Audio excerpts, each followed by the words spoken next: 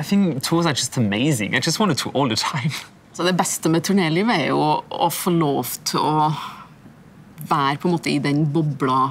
At man er underveis hele tida, man er sammen, man opplever ting sammen. Vi er helt uh, utrolig privilegerte, uh, syns jeg, som får lov til å holde på med det vi gjør, og også gjøre det rundt i verden. Det beste er jo helt klart å få oppleve uh, forskjellige konsertsaler. It's discovering amazing halls, amazing acoustics. It's meeting audience that we're not used to and, and their own habits. And you hear things that you haven't heard before, actually, and those are the same pieces that you're playing in every hall.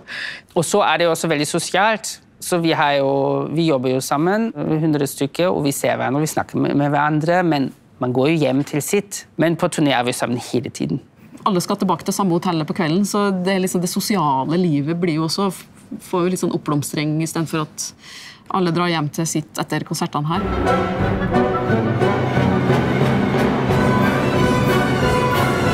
Ulempen er jo at man blir sliten.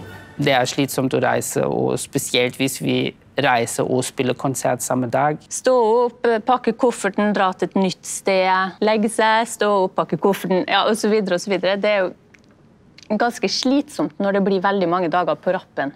Especially when there's like a jet lag element.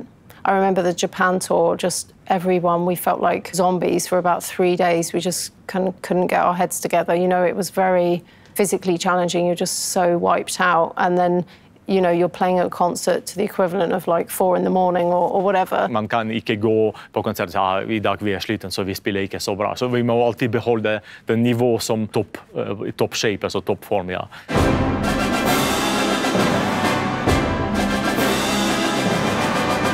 Hadde man da små barn hjemme, så var det ikke så populært å dra jeg i januar en måned til Japan. Eh, eller noe sånt. Vi sover ofte ikke, ikke nok fordi man må reise videre, altså minst åtte timer, selvfølgelig, men ofte blir det masse fester. ikke sant? En øl? Nei da, det blir, det blir noen øl, ja.